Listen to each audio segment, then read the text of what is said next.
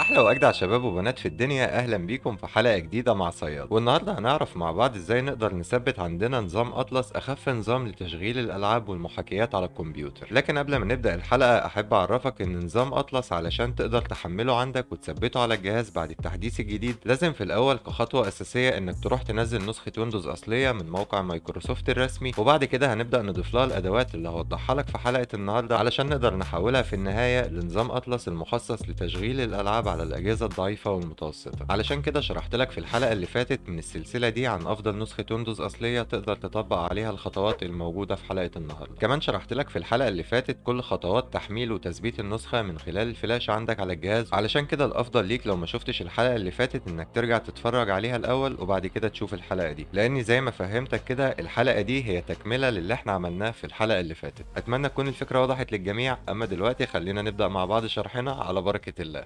دلوقتي بقى عايزك تركز معايا علشان تشوف هنثبت نظام أطلس إزاي. أول حاجة هتروح لمتصفح Microsoft Edge بالشكل ده تضغط عليه مرتين. بعد كده هيظهر الكلام ده لأن النسخة طبعا جديدة أول مرة بستخدمها قدامك فاضغط على كلمة confirm و next وكل الحاجات اللي أنت عارفها. المهم إن أنت تخش للمتصفح في الآخر وتيجي هنا وتكتب كلمة جوجل. بعد كده هنروح لخانة البحث وتبدأ تكتب معايا الكلمة اللي هتظهر قدامك على الشاشة دلوقتي دي. Atlas OS. وتضغط enter هيظهر لك أول نتيجة من موقع Atlas OS dot net هتضغط عليها بالشكل ده علشان نبدأ نحمل الأدوات بتاعتنا. أول ما يدخلك على الصفحة دي هتنزل على طول معايا لو أنت حابب تقرأ ال documentation بتاعت النسخة أقراها ولكن أنا هقول لك الطريقة على طول اللي هتقدر تحمل بيها الأدوات وتثبتها عندك. أول حاجة أنت محتاج تحمل الأداتين دول Atlas Playbook وكمان AME Wizard. هنروح أول حاجة نحمل Atlas Playbook بالشكل ده. تضغط عليها وهيبدأ يحمل على طول بالشكل اللي أنت شايفه قدامك ده. كمان هنحمل AME Wizard بالمرة. هنضغط عليها بالشكل ده وهتبدأ كمان تحمل معانا زي الملف التاني. بعد ما تتأكد إن الملفين خلصوا تحميل طبعا أنت محتاج هنا برنامج فك ضغط علشان تقدر تفك ضغط الملفات دي. ففي برنامج بسيط جدا اسمه WinRAR تقدر تحمله مش هياخد معاك ثانية هنروح لأي متصفح ونكتب كلمة WinRAR ونضغط enter بالشكل ده. أول ما يجيب لك نتائج البحث هتيجي تضغط معايا على أول نتيجة من موقع RARLAB هتيجي تضغط معايا على كلمة download من هنا. هيدخلنا على الموقع بالشكل ده. تنزل معايا تختار WinRAR x 64 bit لاننا محملين نسخة 64 bit وأول ما تخلص معاك تحميل هتيجي تفتح بالشكل ده علشان نبدأ نثبت البرنامج. نضغط على كلمة yes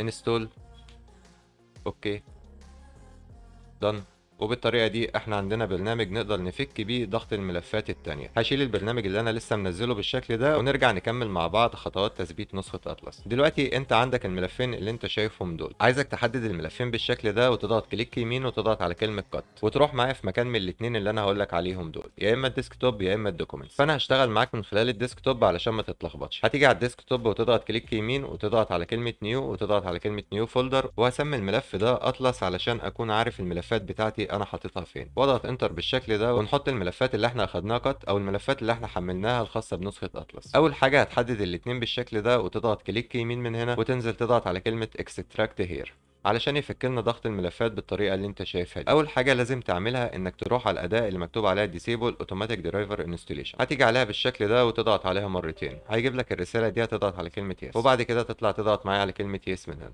وهنا هتيجي تضغط على كلمة OK. وكده إحنا خلصنا أول خطوة معانا. الخطوة الثانية بقى وهي إننا هنروح لأداة AME Wizard beta اللي هتلاقيها في نفس الملف اللي إحنا عملناه. هتضغط عليها مرتين بالشكل ده علشان تفتح قدامنا بالطريقة اللي أنت شايفها قدامك دي. لو ظهرت لك الرسالة دي وأنت بتفتح الأداة تقدر تضغط على كلمة more info من هنا وبعد كده تضغط على كلمة run anyway.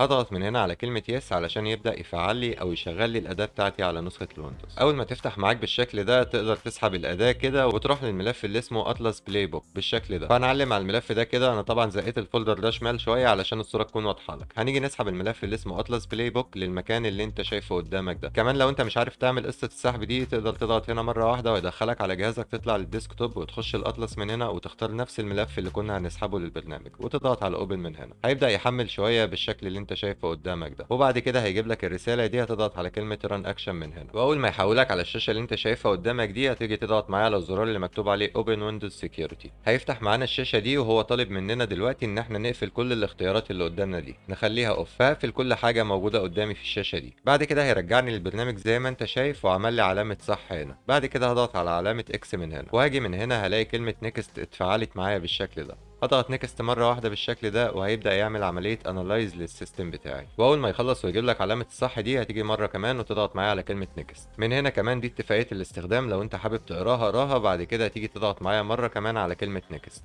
وهنا تضغط على كلمة I agree وتنزل بعد كده معايا تضغط على كلمة select options من هنا. وهيبدأ يخيرنا بين كل البرامج اللي إحنا عايزينها في النسخة والبرامج اللي إحنا مش عايزينها في النسخة. فمثلا برنامج Windows Defender أو الحماية الخاصة بالويندوز من المفضل إن أنت تكون مثبتها في النسخة. ولكن أنا بعتمد على برنامج خارجي لأن البرنامج ده بيسحب كتير جدا من موارد الجهاز. فأضغط هنا على كلمة disable بالشكل ده وأضغط على كلمة next. كمان هنا زي ما أنت شايف بيقول لي الاختيار اللي أنا واقف عليه ده لو عملت له disable هيوفر لي كتير جدا في الأداء ولكن بيقلل من حماية النسخة. علشان كده بقول لك إن أنت لو هتستخدم النسخة دي لازم تعتمد على برنامج حماية خارجي علشان تأمن نسخة الويندوز بتاعتك بشكل كامل. لكن بما إننا في الحلقة دي بنثبت النسخة على الأجهزة الضعيفة فأنا هعمل disable لكل الخدمات دي علشان أوفر موارد من الجهاز بتاعي. وهنا على الاختيار اللي أنت شايفه قدامك ده هتخليها على disable core واللي مكتوب عليه recommended وتيجي تضغط معايا على كلمة next هنا بيوريك كمان حبة خدمات هو هيشيلها فأنا عايزك تيجي تشيل معايا علامة الصح من هنا علشان يسيب لك متصفح Microsoft Edge إلا لو أنت حابب تستخدم متصفح تاني تقدر تعلم هنا وهيحذف لك متصفح Microsoft Edge مع كل الخدمات اللي إحنا هنشيلها دلوقتي. وتيجي تضغط معايا على كلمة okay. كده زي ما انت شايف قال لك إن كل حاجة مظبوطة عندك. ومطلوب منك دلوقتي إن انت تنزل معايا لكلمه next وتضغط عليها بالشكل ده. وهيبدأ يحمل قدامنا بالشكل اللي انت شايفه قدامك. وأكيد أنا مش هقص أي حاجة من الحلقة علشان تكون شايف كل التغييرات اللي هتحصل على نسخة الويندوز بتاعتي قدامك لحظة بلحظة. هسرع الفيديو شوية ولكن هسيب لك كامل عملية التثبيت قدامك علشان كمان تكون عارف إيه اللي هيحصل معاك في نسخة الويندوز بتاعتك لو انت قررت تستخدم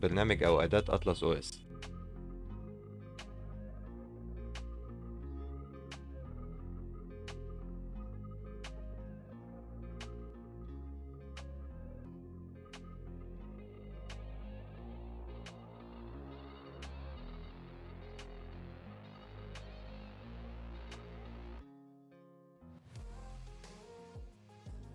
وزي ما إحنا شايفين البرنامج خلص معانا وشكل النسخة اتغير بالشكل اللي انت شايفه قدامك ده. وهنا بيقولك ان جهازك هي restart بعد 10 ثواني. هنسيبه يخلص restart أو عملية ال restart بتاعته وارجع لكم مرة تانية. اثناء عملية ال restart ممكن يقعد يحمل عندك شوية بالمنظر اللي انت شايفه قدامك ده. مفيش أي مشكلة. بيعمل updates للتغييرات اللي إحنا عملناها في نسخة الويندوز فما تقلقش خالص. وبالمنظر ده النسخة فتحت قدامنا مرة تانية. واهلا بيك في نسخة اطلس الجديدة المخصصة للألعاب. وبالطريقة دي انت خلصت معايا كل خطوات تثبيت النسخة. ولكن في حاجة مهمة جدا وهي التعريفات الخاصة بالنسخة النسخه بتاعتك. شرحت في الحلقة اللي فاتت نفس الحلقة اللي أنا شرحت فيها نسخة الويندوز الأصلية اللي إحنا اشتغلنا عليها كمان في الحلقة دي. وضحت فيها بشكل كامل إزاي تقدر تحمل التعريفات بتاعتك من خلال برنامج Driver Booster. لو أنت عندك خلفية عن البرنامج تقدر تروح على طول تثبته على نسخة الويندوز الجديدة وتستخدمه. لو ما عندكش خلفية عن البرنامج كده كده أنا شرحته في الحلقة اللي فاتت أو في آخر الحلقة اللي فاتت. ودي كانت كل حاجة علشان تقدر تحمل أو تثبت نظام أطلس عندك على ال PC. استهلاك النظام خفيف جدا كمان عدد العمليات الأساسية اللي بيعالجها في الخلفية عندك يكون قليل قليل جدا زي ما أنت شايف. كمان لو النسخة عجبتك تقدر تكتب لي كده في الكومنتات علشان احافظ لك أنت كمان إني أتابع لك كل جديد عن النسخة دي وأشرح لكم كل التحديثات الجاية عنها أما دلوقتي وبعد ما عرفنا كل الخطوات الخاصة بتثبيت نسخة ويندوز اطلس عندنا أو أداة اطلس عندنا لأنك زي ما أنت شفت هي مش نسخة ويندوز أصلا هي أداة بسيطة بتعدل لنا شوية علشان تدينا اداء أكتر في الجهاز. كمان مش عايزك تنسى تستخدم antivirus أو برنامج حماية عندك لو أنت عطلت الحماية وأنت بتثبت النسخة. أو تقدر تشغل الحماية بشكل طبيعي زي ما شرحت لك من شوية وإحنا بنثبت النسخة عندنا على الجهاز. في الحلقة الجاية إن شاء الله هنشرح أهم البرامج اللي أنت تقدر تستخدمها على نسخة الويندوز علشان تاخد أفضل أداء من على جهاز. يا رب تكون الحلقة والمعلومات اللي قدمناها فيها كانت مفيدة ليكم وإن شاء الله النسخة تعجبكم. أما أنا فاشوفكم الحلقة الجاية والسلام عليكم ورحمة الله وبركاته.